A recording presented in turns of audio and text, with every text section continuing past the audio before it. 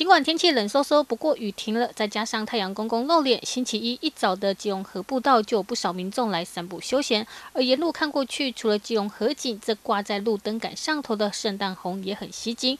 一盆盆红彤彤的圣诞红，民众说很有过节气氛。我们城中里的里长廖里长非常用心，每年都会帮我们。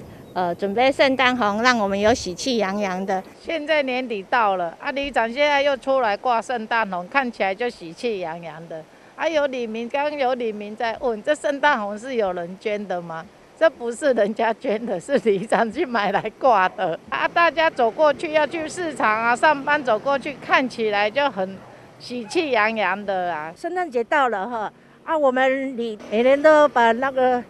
圣诞树挂在每一个社区桥头，点缀那个圣诞节的来临。今年的圣诞节即将来临哈啊，新的一年也快到了。那我们城中里的话，每一年的这个季节的话，我们都会买一些圣诞红来装饰我们里面的桥梁，还有就是电线杆，还有巷道的话，我们的电线杆也都有挂了圣诞红。圣诞红不但挂满大街小巷、公园步道沿路都是。值得一提的是，这几年的营造下，这里的环境越来越好，四季都有花可以欣赏。现在除了圣诞红，还有黄色以及橘色的仙丹都在开。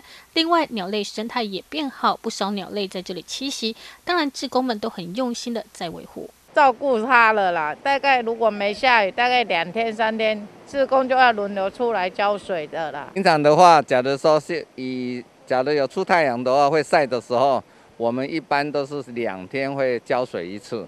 那假如是有下雨天的话，我们就不用。那原则上的话，一盆的话，它都可以挂到一两个月的时的时间。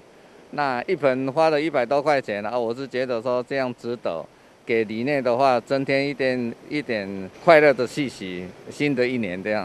现在沿途从城中公园、基隆河步道一直到茄东西，沿路都布置了圣诞红，看起来热闹又喜气。而根据往年的经验，圣诞红会一路红到农历过年，也欢迎民众多多到城中里步道来走走，感受过年气氛。